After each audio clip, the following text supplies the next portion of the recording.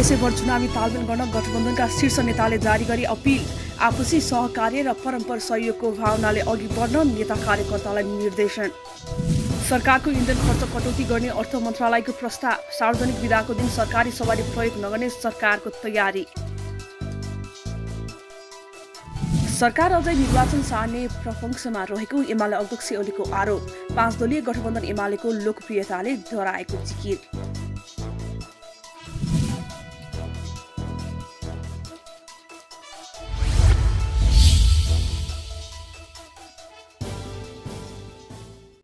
सत्तारूढ पाँच दलीय गठबन्धनले ठाउँ र अवस्था अनुसार स्थानीय तह निर्वाचनमा तालमेल गरेर अघि बढ्न गठबन्धनमा आबद्ध दलका नेता कार्यकर्तालाई आह्वान गरेको छ।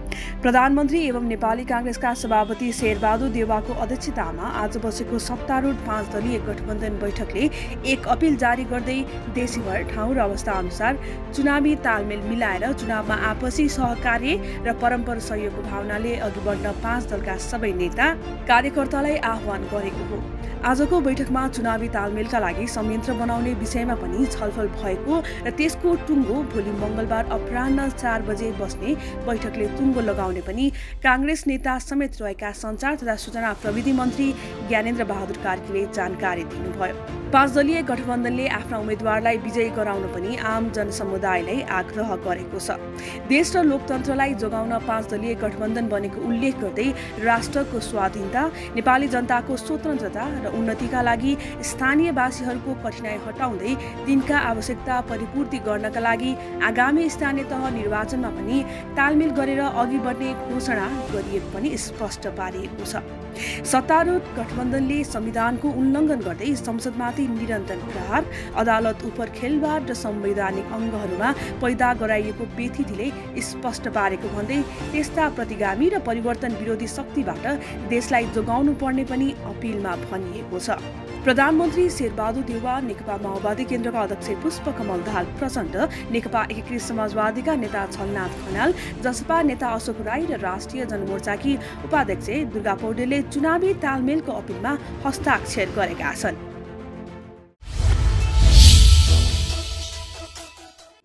नेपाली काङ्ग्रेसले चैत तिस गते केन्द्रीय कार्य सम्पादन समितिको बैठक बोलाएको छ।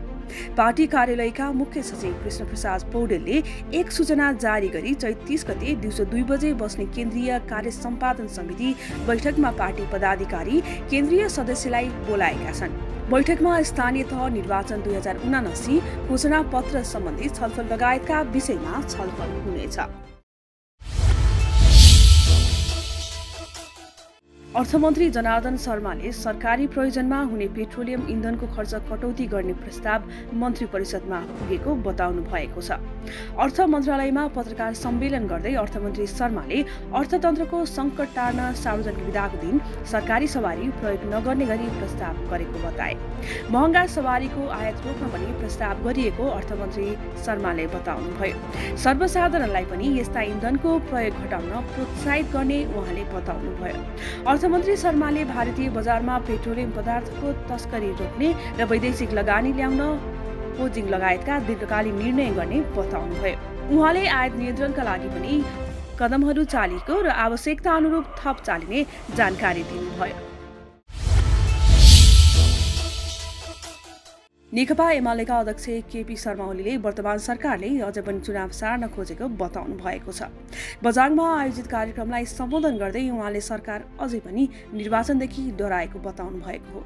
उहाँले शेरबहादुर देवार नेतृत्वको सरकारलाई खैजरी सरकारको संज्ञा दिनुभएको छ। उहाँले देवा जहिले जहिले सरकारमा गए पनि लोकतन्त्र बुझाएको इतिहास रहेको बताउनुभयो। चर्चित हिमाल आरोही लाक्पा शेर्पाले दसौँ पटक सगरमाथाको आरोहण गर्नुहुने भएको छ।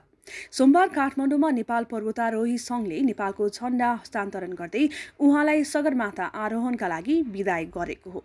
कार्यक्रममा आरोही लाक्पाले अबको सगरमाथा आरोहणले नेपाली महिलाहरू कुनै पनि कामका लागि पछि हट्दैनन् र जुनसुकै पनि काम गर्न सक्छन् भन्ने प्रेरणा दिने बताउनुभयो। उहाँले हिमालमा रहेको फोहोरहरू कम गरी स्वच्छ हिमाल बनाउने काममा आरोहीहरूले पनि भूमिका खेल्नुपर्ने जोड दिनुभयो। लाक्पा पन्ध्रजना अमेरिकी आरोहीसहित उनाचालिसजनाको टोली लिएर गाइडको भूमिकामा सगरमाथा जाँदै हुनुहुन्छ। सङ्खुवा सभाको मकालुकी लाक्पाले पहिलोपटक सगरमाथाको सफल आरोहण सन् दुई हजारमा गर्नुभएको थियो। लाक्पा सबैभन्दा धेरै पटक सगरमाथा आरोहण गर्ने महिला समेत हुनुहुन्छ। स्थानीय तह निर्वाचनका लागि हालसम्म पैँतालिस लाख बाइस हजार मतपत्र छपाई गरिएको छ।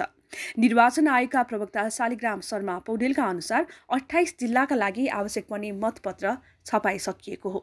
छपाई कार्य जारी रहेको उहाँले बताउनुभयो। स्थानीय निर्वाचनका लागि जनशिक्षा सामग्री केन्द्रबाट मतपत्र छपाई भइरहेको हो।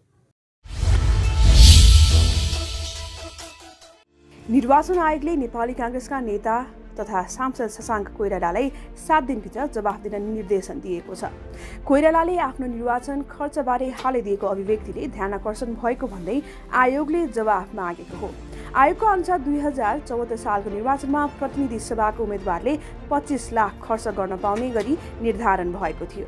नवलपरासी वर्धघाट सुस्ता पूर्वको प्रतिनिधि सभा क्षेत्र नम्बर एकबाट निर्वाचित डाक्टर कोइरालाले आयोगलाई बुझाएको खर्च विवरणमा एक्काइस लाख पचहत्तर हजार मात्रै उल्लेख छ।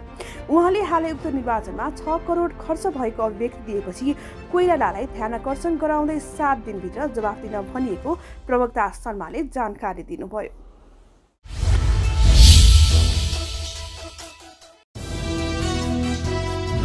देशैभर चुनावी तालमेल गर्न गठबन्धनका शीर्ष नेताले जारी गरी अपिल। आपसी सहकार्य र परम्पर सहयोगको भावनाले अघि बढ्न नेता कार्यकर्तालाई निर्देशन। सरकारको इन्धन खर्च कटौती गर्ने अर्थ मन्त्रालयको प्रस्ताव सार्वजनिक विधाको दिन सरकारी सवारी प्रयोग नगर्ने सरकारको तयारी।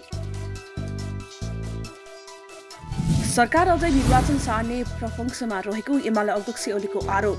पाँच दलीय गठबन्धन एमालेको लोकप्रियताले डराएको जिकिर